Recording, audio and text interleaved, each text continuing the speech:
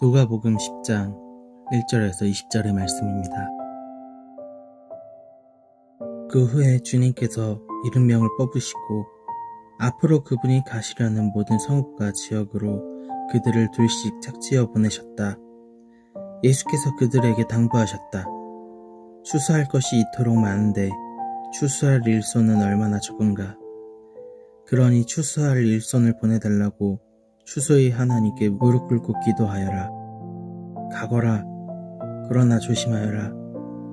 이것은 위험한 일이다. 너희는 이리 때 가운데 있는 어린 양들 같다. 짐을 가볍게 하고 다녀라. 빛과 칫솔이면 된다. 그 이상은 필요 없다. 길에서 만나는 모든 사람과 노닥거리거나 잡담하지 마라. 어느 집에 들어가든지 그 가족에게 평화를 빕니다 하고 인사하여라. 그들이 너희의 인사를 받아들이면 그곳에 머물러도 좋다. 그러나 받아들이지 않거든 인사를 거두고 나오너라.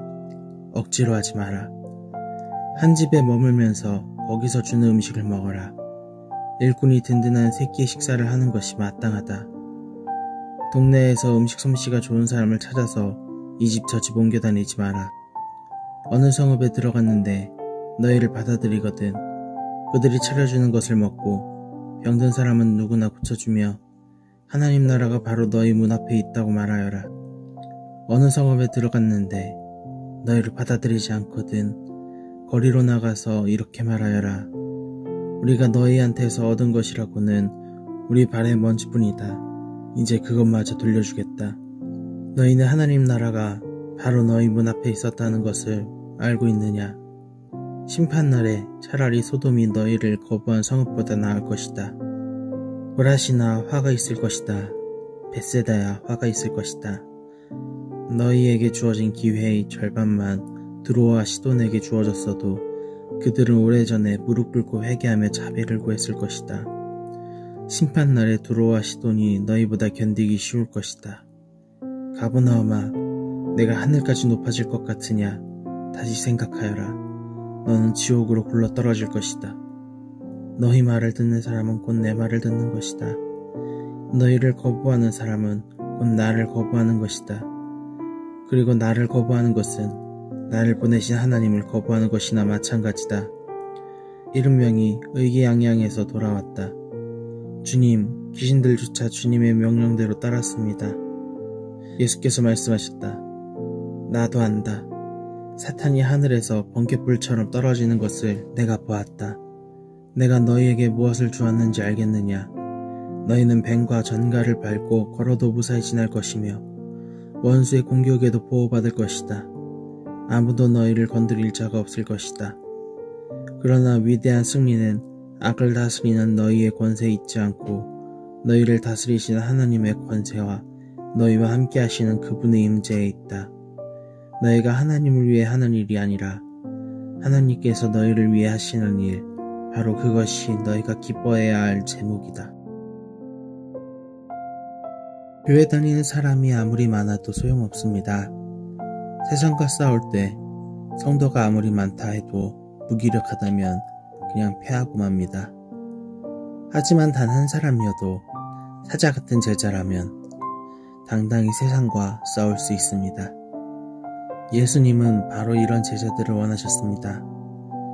그래서 처음에는 12명을, 다음에는 70명을 선택하십니다. 말씀을 가르칠 뿐만 아니라 그 말씀을 전하도록 실습을 시킵니다. 제자로 파송되는 사람들에게 예수님은 몇 가지 원칙을 주셨습니다. 첫 번째는 두려워 말라는 것입니다. 예수님은 제자들을 파송하면서 이리때 가운데 있는 어린 양 같다고 말씀하십니다. 우리가 전도를 나갈 때 심정이 이럴 것입니다. 두렵고 무섭고 떨립니다. 우리를 노리고 있는 늑대무리 속으로 들어가는 기분입니다. 하지만 두려워하지 말라 하십니다. 예수님께서는 우리에게 권능을 주셨습니다. 그러니 두려워하지 마십시오. 그저 우리를 보내신 주님을 믿고 담대히 나아가면 됩니다. 두 번째는 물질에 매이지 말라는 것입니다. 우리는 먼 길을 가려면 항상 이것저것 준비를 합니다. 그런데 예수님은 그런 준비를 말리십니다. 돈이든 옷가지를 넣은 배낭이든 준비하지 말고 가라고 하십니다. 왜 그렇게 말씀하셨을까요?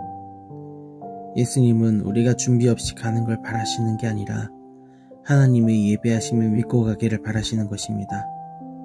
귀한 역사의 길에 하나님께서 다 준비하시겠다는 말씀입니다. 염려는 우리를 마르게 할 뿐입니다. 예수님은 우리가 염려 근심의 사슬을 끊어버리기를 바라셨습니다. 무엇보다 제자라면 하나님 나라의 일을 하며 살아간다면 근심하지 말라고 하십니다. 염려와 걱정은 세상이 좋아하는 것입니다. 그것을 버리고 하나님이 주시는 마음을 취해야 합니다. 세 번째는 축복하는 것입니다. 제자들이 각 지역에 가서 전하는 말이 무엇일까요? 평안입니다.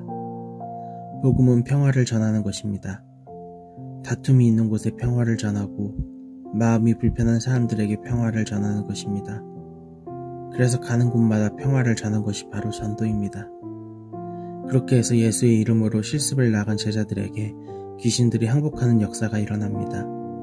거기에 예수님은 귀신들이 나간 것을 기뻐하지 말고 우리가 하나님의 자녀인 것을 기뻐하라고 말씀하십니다. 예수님은 세상을 다스리시는 만왕의 왕, 만주의 주이십니다. 그리고 자기를 믿는 사람에게도 동일한 능력을 주시는 분입니다. 그러므로 우리에게 중요한 것은 우리 이름이 하늘에 기록된 것, 즉 하나님의 자녀가 된 것입니다. 하나님의 자녀로서 예수님을 잘 믿고 예수님께 순종하면 됩니다. 그때 우리도 예수님처럼 세상을 변화시키는 능력의 사람이 될 것입니다. 나의 이름이 하나님의 나라에 기록된 것을 기뻐합시다.